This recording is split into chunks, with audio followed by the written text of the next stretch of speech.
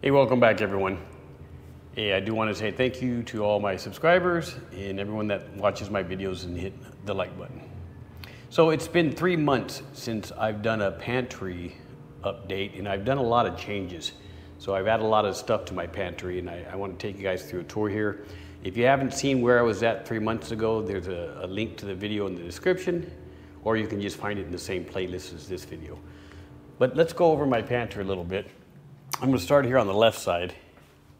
So on the top I have um, top ramen for you guys in the US, but basically it's pancit canton and I I got four big cases. I like the lemon calamansi one, so I got a lot of that, and I got the sweet and spicy. And then something from Indonesia, which I like a lot, is the Indomie Mee Goreng, which is a pancit canton as well, but it's just a different quality uh, taste. So my stuff kind of comes from all over. I am in the Philippines, so I do have some of Frank's finest coffee. So I got a year supply for one person, and I got more on order, so I'm waiting for that to come in. And then obviously I got a lot of the Augason potato slices because first of all, potatoes go good in everything. Uh, they store for 25 years, and I got a ton of them. So what I, I basically don't have everything super organized. Most things do have the best by date um, listed here. For example, this bean stew from Molinera, which is basically uh, uh, pinto beans and sausage and bacon. It's good till 27, right? So I got some odd stuff that you probably don't see in a lot of pantries in the U.S. because I am out in Asia and I get to order some neat stuff. Like um, from China, I get pork leg with mushroom. Um, the garbanzo beans from Spain. Um, also from Spain, I get stuff like braised pork cheek. Um, this stuff is from Germany, right? So it's just your standard peas and carrots. I get a lot of stuff from the German store out here because they ship, like all my green beans, my pea soups, my mushrooms, my stews. Uh, the green olives is Italian, right? So I get a lot of neat stuff. Again, this stuff is from the German store. It's basically meatballs, kippers, and potatoes. Now, these meatballs here got um, the rest of the year to go before they're done. A couple things that just came in I haven't had ticks on, but also stuff from China that's really neat. So this is basically a can of um, pork, right? So they call it guling, but it's uh, from China, and it's uh, like chunky bacon in the meat sauce. And this particular, I haven't put the number on there, but this is good till uh, October 20th, 2025, right? So you can see that. So I'm basically getting some different proteins and stuff stacked up as well as the stuff you're probably used to seeing, like the cream of mushroom soups and all my tomatoes, right? So I got various tomatoes down here. Um, I have a lot of canned fish, um, especially, you know, the salmon, which is good out till 27. So I got a lot of canned salmon, the scallops, the herrings. Um, I got canned ham. Um, Apis, I, I, this is from, let's see, Bajo Concentration. So it's either Italian or it's uh, Spanish. And same with the Korean, yeah, so same, same stuff. Product of Spain, yeah, so all the Korean stuff comes from Spain. Um, now this sauce is coming up due May, so I'm going to either start making a lot more and freeze drying or not. Red's beans, Bob's red beans. Now we've I had a lot more of these, but my wife found them and she really likes them. She likes slow cooking this in the crock pot. So I will definitely get some more of these uh, 13 grain and 13 bean soup combos. Potatoes, your standard uh, Campbell soup, your Dinty Moore stew, your chili Stagg. You know, uh, the, the fruit here I use when I cook oatmeal. I put the fruit in the oatmeal, same with the applesauce. Uh, and the chili goes into my chili cheese mac. The MREs down here are pretty much basically for uh, video content. I, I, stuck some chowder down here, Progresso. It's not the best chowder in the world, but it'll work.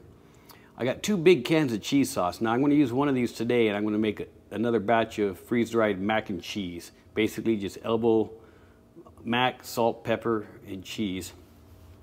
I got 50 cans of green peas. I got uh, uh, 48 cans of baked beans. I do have a ReadyWise breakfast mix here, and I got this because it was really on sale, super sale locally, so I picked that up, even though I'm going to make a lot of my breakfast stuff myself. Some interesting things I have. I do have some cake mix. I don't know what the expiration is on it because it's not on the box. but uh, it's powdered, so I'm pretty sure it's going to last.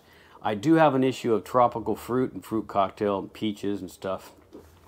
One thing you might want to take notice of here is like the shape of this can. Now this can had an expiration of April 2023, so it's coming up due, and they were dented really bad. But they were like 20% of normal cost, and I use mushrooms in all my freeze-dried pasta. Um, some large cans of peeled tomatoes down there. In this bucket I have uh, mung beans, popcorn, and chickpeas. This is salt. That's uh, washed sugar. It's not brown sugar, even though it looks brown. It's just washed. And that's pretty much everything on that side. I still have space um, to squeeze stuff in. I keep my solar panels in here. Now, the, the oh, so the big ad over here is, I first of all, this shelf wasn't here. This whole shelf is new.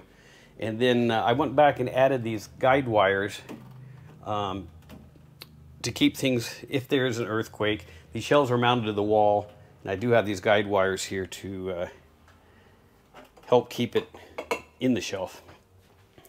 Now, I did a lot of white rice. I did a video on it, so if you want to see how I preserve white rice, you can go ahead. But I have 10 of these five gallon buckets of white rice that's been frozen twice, stuck in mylar, two times the O2 absorbers than required, and this rice should be pretty solid. Down at the bottom, I got my pinto or my white kidneys, and they go all the way back. I have uh, white kidneys in the back as well. So I got two buckets of each of the red kidney and the, and the white kidneys. Um, my bread flours here. Um, I got two buckets of these. So I got uh, flour here, which is good until 24. So I got to keep an eye on that as well. Breadcrumbs, same way. Um, 100 cans of Argentina corn chicken. 100 cans of Century tuna, hot and spicy, which is how we like it. 100 cans of Argentina corned beef. And 100 cans of Don Pedro sardines and tomato. And then some bulk corn. Some instant bowls, which we eat a lot of. And then uh, I have a lot of macaronis, but I, I freeze dry a lot of the macaroni stuff if you've seen my videos. So that's why I'm doing a lot of that. At my little work shelf here. I got over 100 cans of Korean Spam, which is good out till 2025. Got some peanut butter. I have a lot of high energy concentration bars. Now these are ration bars and uh, they're like worst case scenario. But these are going to give you, and they're, they're good till 2042, right? But let's see, what did it give you for calories? I don't know, it gives you a lot of vitamins. Uh, calories, so it's 1,916 calorie per pack. So I got a lot of those. I add a lot more oatmeal, but I've been freeze drying savory oatmeal as well as sweet oatmeal. Uh, this is just left over from the other day. It'll probably be used up soon.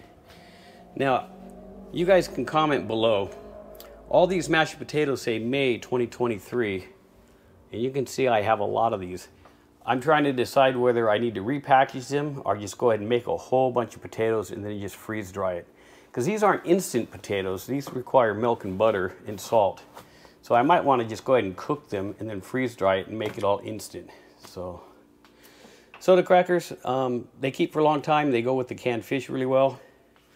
Same with the pancake mixer. I got a lot of pancake mix here. And I got to decide if I want to repackage it.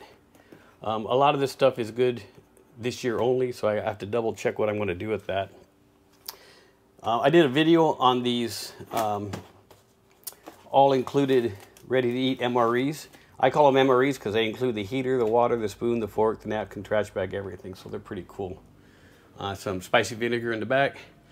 And obviously the big spend here is all the Augason Farms stuff, right? Everywhere from veggie, onions, soup, the veggie burger mix, tomato powder, all the Alfredos, a lot of milk. Again, more pancake mix, cheese, butter, cream of wheat, some lasagna in the back, extra soup. I got honey powder, peanut butter powder, corn chowder, broccoli, and a bunch of bread scone roll mixes.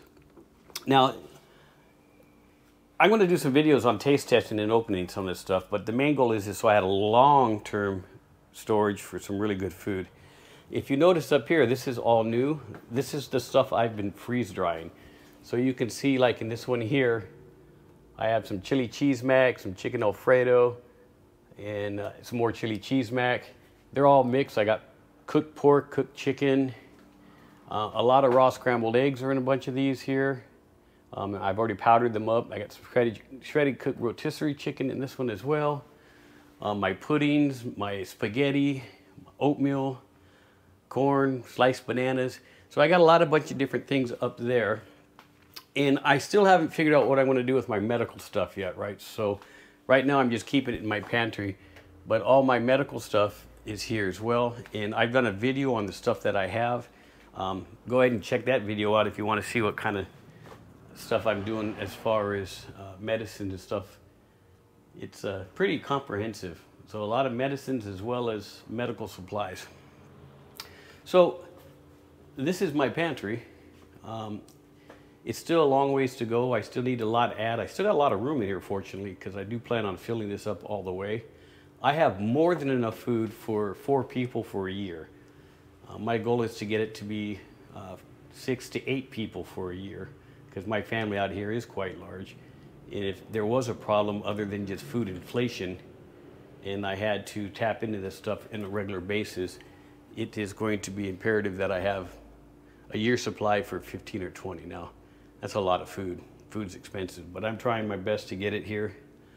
And uh, I, I, hope you appreciate the effort I'm doing. And I'm sharing, not to brag, I'm just sharing because, you know, I put a lot of work into this pantry and I put a lot of work into getting a mix of things. And uh, in case you're wondering, I have water, right? So I have a water refilling station. I have two deep wells. So you see all this food and you're going to say, hey, where's all your water? Watch one of my other videos. I have all, all the water I'll ever need, so I'm covered in that regard. But I just want you to guys take a quick peek. You know, I have some interesting stuff, you know, turkey meat, um, sweet style spaghetti sauce, you know, some of my chicken stocks. I do have a lot of teas, um, Nestle iced tea, soy sauce. I have things that I eat. I have things that my wife like to eat. I do have a lot of stuff that's protein based, right? You won't see any beanie weenies because I don't like them. I'd rather spend my money on chorizo um, sausages and or these bratwurst sausages from Germany, which are just a much better quality than your chicken beanie weenies are. So protein heavy, um, sauce heavy, fish heavy, noodles. Um, I still need a lot more veg. The reason I don't have a whole lot of veg here other than the freeze-dried stuff, um, like the broccoli, which is expensive here and I guess everywhere, is I do plan on freeze-drying, you know, my stock celery, uh, green beans, carrots, peas, and stuff. So I'll have my own freeze-dried supply um, for long-term storage for my veg, and I'm still working on it. The stuff I didn't want to make was like the garlic, right? I got a whole bunch of freeze-dried garlic. I just bought that from Amazon. Um, the onions right here again. I can easily buy, uh, not easily, onions are expensive and hard to find out here. Um, I, I've made like 40% back of my money just on these onions if I wanted to use them today already, let alone 25 years from now. But these are things I don't want to make myself just because it's, you know, it's a pain in the butt. Chopping all the onions and stinks up your freeze dryer and stuff. Anyways, I just wanted to do a quick video to do an update. It's been probably three months since I have done one. And I wanted you guys to get a, a peek at where I'm at. And I do appreciate all comments. If you got any suggestions on what I should start stacking, let me know. And if you watched all the way to the end, please hit that like button. And if you're not a subscriber, please hit subscribe. Go check out some of my other content. You might like it. Um, I think you will. A lot of people do. And until next time, thank you.